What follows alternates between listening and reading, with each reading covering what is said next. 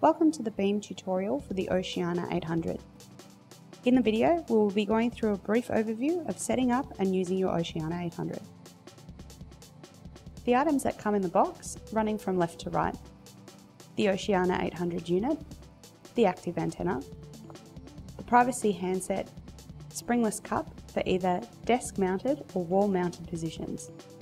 It also comes with a spring cup that is fitted to the Oceana 800 and that is used for rough conditions. The power pack and the AC-DC power cables. With the Oceana 800, there are two unique mounting cups for the privacy handset. Already installed on the unit is a spring cup for rough environments. To remove the handset, you have to lift the spring cup. Alternatively, we supply the springless cup for desk or wall mounting positions. These are easily interchangeable with the removal of a few screws. On the rear, there are 8 fixing holes available for wall mounting orientation. To remove the mounting plate, slide the panel downwards. The external cable interface is at the rear of the terminal.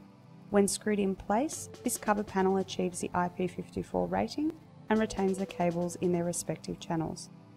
The cover panel is fixed by six screws that need to be removed. Once the cover panel is removed, the five interface connectors can be accessed. Privacy handset port, the RJ11 POTS phone port, auxiliary port, DC power port, and the accessory input and alert loop port. Inserting the primary SIM.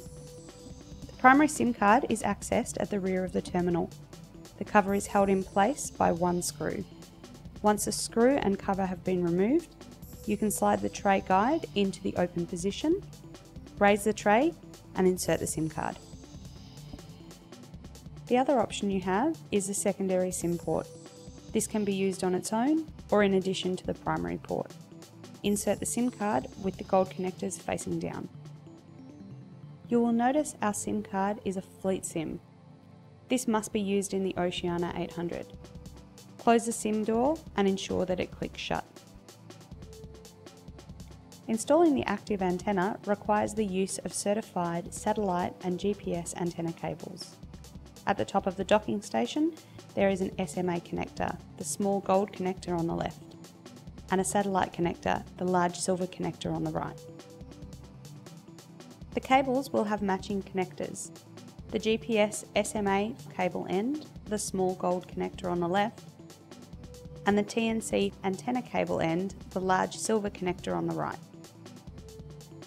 Connect the SMA connectors and the TNC connectors by screwing into the unit. Avoid over tightening any antenna connectors. At the other end, we need to connect these same cables to the antenna. Here we will connect the antenna cable labelled Inmarsat to the SMA antenna connector labelled ISAT. Then connect the antenna cable labelled GPS to the SMA antenna connector labelled GPS. You must ensure the antenna is positioned correctly with no obstructions or tall structures that could block the signal between the antenna and the satellites. We have further videos in relation to antenna placement for your reference. There are two cables available for connecting power to the unit. This is accessed at the rear of the terminal. Firstly, to connect the DC power source, the DC power cable has three wires, black, yellow and red. When connecting the wires, route the wire end of the DC cable to the connection point. Connect the black wire to the negative terminal of the battery. Connect the red wire to the positive terminal of the battery. Connect the yellow wire to a switch. If the sleep function is not required, the yellow wire must be connected to the red wire permanently. Secondly, you have the option to install using a 110 to 240 volt plug pack. Connect the four-way microfit power connector to the connector at the rear of the unit. Once the power cabling has been inserted, screw the cover panel to the back of the unit. Return the wall mounting plate and the unit is now ready for power connection.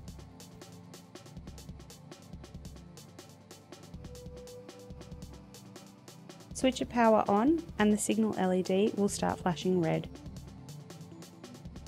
The terminal will then register to the Inmarsat network and acquire GPS lock. This can take up to two minutes. Once registered, the status LED will be a solid green.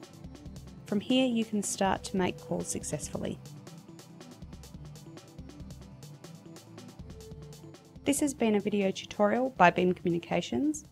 For more information, go to our website www.beamcommunications.com.